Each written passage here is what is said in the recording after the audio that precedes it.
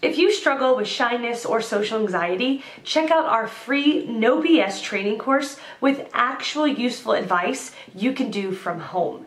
None of that just get out there nonsense. The link is in the description below. For now, let's get to today's question. The question Does medication help with social anxiety? How so? Social anxiety is the fear of social situations, which involve interactions with other people. People suffering from social anxiety tend to avoid conversations, refrain from contributing to class or group discussions, like to keep their ideas to themselves, and may isolate themselves due to shyness. Panic attack symptoms are a common reaction to. However, until diagnosed by a certified mental health practitioner, one should not presume the presence of the disorder. The fact is that there is a difference between experiencing occasional bouts of anxiety and suffering from social anxiety. Thus, talking to an expert is the best way out when in doubt. Further, social anxiety can be overcome with the help of proper treatment and self-care. While self-care involves mastering coping skills and practicing self-help strategies, the treatment program usually combines medication and therapy.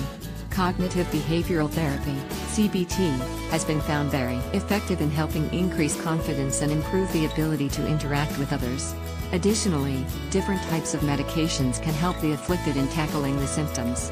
Some examples include benzodiazepines, beta blockers, monoamine oxidase inhibitors, MAOIs, selective serotonin reuptake inhibitors, SSRIs, and serotonin norepinephrine reuptake inhibitors, SNRIs. However, the consulting doctor who has assessed the disorder must recommend the same. Additionally, knowing and practicing the following things can help the afflicted person in controlling the symptoms without letting them take a toll on his slash her health. 1. Learning to rationalize the fears. 2. Introspecting, identifying and working on the triggers. 3. Remembering that not everything can be in his slash her control. 4 participating in a support group to work on triggers, picking up a fitness regimen, etc.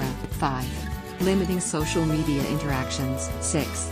Eating right and on time so that fitness and health is maintained. 7.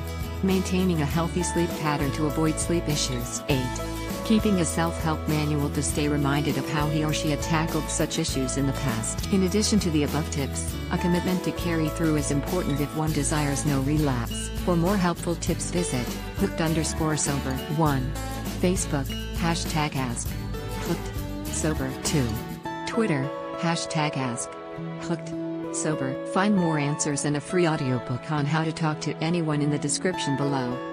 No useless advice like just get out there I mean actual useful advice from people who have really dealt with shyness and social anxiety and overcome it in their own lives.